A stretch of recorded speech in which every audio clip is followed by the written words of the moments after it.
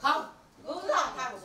Suốt nhiều năm qua, gia đình bà Đào Thị Hải Duyên sống tại tòa CT2B, trung cư Tân Tây Đô, Đan Phượng, Hà Nội luôn phải sống trong tình trạng ẩm mốc do nước mưa ngấm trên tường vào nhà. Theo chia sẻ của bà Duyên, gia đình bà đã nhiều lần sơn sửa lại căn phòng. Tuy nhiên, vẫn không khắc phục được tình trạng trên.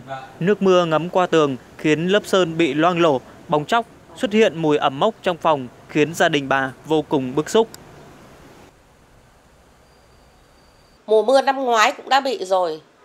Nhưng mà năm nay ý, thì là quá nhiều mà rơi nước cái từ trên trên tầng thấm xuống mà ở bên trong ở trong phòng chứ không phải là bên ngoài cửa sổ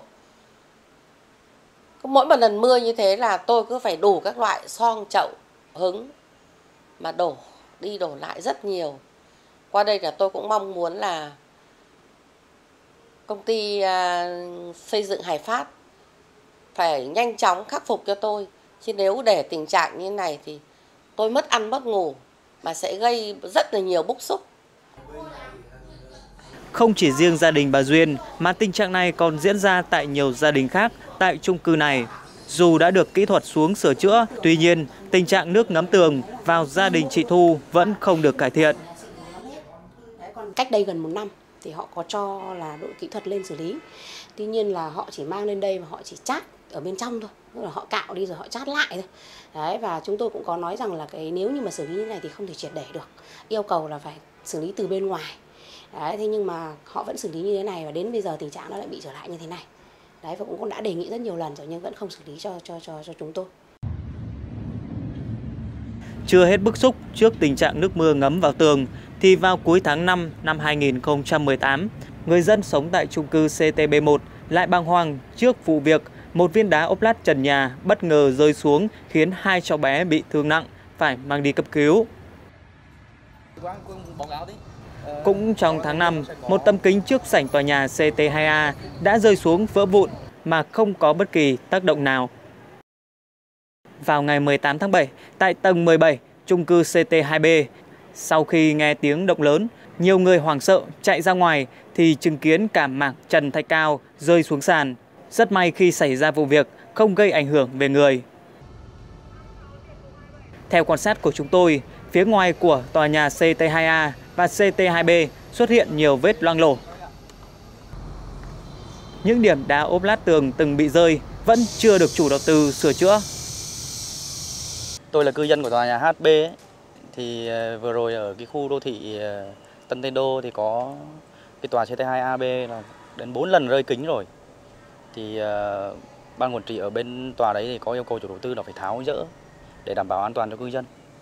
Cho nên là với lo lắng không khác gì ở bên 22B là bây giờ HB thì mặc dù là tòa nhà thì có đưa vào sử dụng sau một chút nhưng bây giờ rất lo ngại cái câu chuyện là cả cái tòa nhà chỉ có một cái lối đi mà cái máy kính này thì với chất lượng mà như thế thì không biết là lúc nào nó rơi. Và nó là hậu quả nó sẽ khôn lường vì câu chuyện một lối đi mà cái tòa này rất là nhiều trẻ em và người già. Cứ vào cuối giờ chiều là hay xuống sảnh để chơi. Đấy, thì mong mong muốn ở đây là cái tiếng nói của cư dân ấy, để chủ đầu tư quan tâm thực sự kiểm tra khắc phục. Chứ còn thì ngày đẹp trời nó không rơi giống như 22B thì rất là khốn khổ cho cư dân. Tại khu vực tầng hầm để xe, nhiều vết nứt lớn kéo dài xuất hiện. Các điểm dò dỉ nước từ trên trần xuống đất khiến khu vực này trở nên nhếch nhác và khiến người dân vô cùng lo lắng. xung quanh tòa nhà là hiện tượng sụt lún rạn nứt thì tôi lo lắng là cái vấn đề sụt lún này nó ảnh hưởng đến cái kết cấu chung của tòa nhà không vì bởi lại là ở đây cái tòa nhà cư dân chúng tôi sống cũng nhiều chục năm nữa chứ không phải là một vài năm cho nên là cái chất lượng nó rất là đáng lo ngại. Thì chủ đầu tư Hải Phát phải có một cái giải pháp gì đó để mà khắc phục khắc phục triệt để chứ không phải khắc phục để chống đối đâu. Bây giờ nó xuống cấp như thế này rạn nứt ở khu tầng hầm các thứ cũng vậy những vết nứt rất là to. Thì tôi lo lắng nhất là cái kết cấu của của của của của, của tòa nhà. Bản thân là, là là lo sợ như thế. Trong khi những cái căn hộ khác cũng vậy cư dân cũng rất là kêu về câu chuyện là bị thấm dột thực sự là để mà nói bây giờ mà bảo là niềm tin với Hải Phát thì chắc chắn là ngay cả bản thân tôi hoặc là bất kỳ cư dân nào ở đây gần như là không có nữa. Bởi vì làm gì có cái chủ đầu tư nào mà cái để cho khách hàng người ta là suốt ngày người ta kêu gào như thế nhưng mà lại không xử lý những cái tình trạng như thế này. Niềm tin với chủ đầu tư là công ty cổ phần đầu tư Hải Phát đã mất và tính mạng của người dân thì hàng ngày, hàng giờ vẫn lơ lửng bởi những viên đá hay mảnh kính kia, thậm chí là những vết nứt này sẽ sụp đổ bất cứ lúc nào.